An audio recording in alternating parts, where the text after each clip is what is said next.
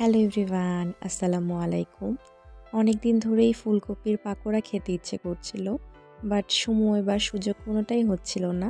তো আজকে ভার্সিটি থেকে আসার পরে ভাবলাম যে সন্ধ্যায় একটু ফুলকপির পাকোড়া করি। তো আমি একটু বেসন নিয়ে নিলাম, তারপরে এর মধ্যে আমি একটু হলুদের গুঁড়া, একটু মরিচের গুঁড়া, একটু গরম মশলা, লবণ দিয়ে, পানি দিয়ে ভালো মতো মাখিয়ে নিচ্ছি। এর মধ্যে অনেকে আদা বাটা, রসুন বাটাও দেয় বাট আমি একদম ঝটপট ঝটপট বানাবো। তো আমার অত বেশি ধৈর্য হচ্ছিল না। তো এখন আমি একটু গরম পানি করে এর মধ্যে ফুলকপিটাকে একটু ভাপিয়ে নিচ্ছি। তো এই তো দিয়ে দিলাম। এখন ফুলকপিটা একটু ভাপিয়ে নেওয়া হয়ে গেছে। তো এটা আমি নামিয়ে নিলাম। এখন আম্মু হচ্ছে আমাকে হেল্প করছিল পাকোড়াটা ভাজার জন্য। আমার আসলে আর শরীর ভালো লাগছিল না, যেহেতু আমি সারাদিন ক্লাস করে এসেছি। তো আম্মুই ভেজে দিচ্ছে।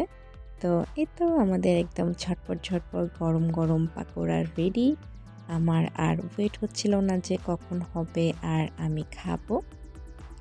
তো এই ছিল আমার আজকের ছোট্ট ভিডিও ভিডিওটি ভালো লাগলে আমার চ্যানেলটিকে সাবস্ক্রাইব করবেন। আল্লাহ হাফেজ।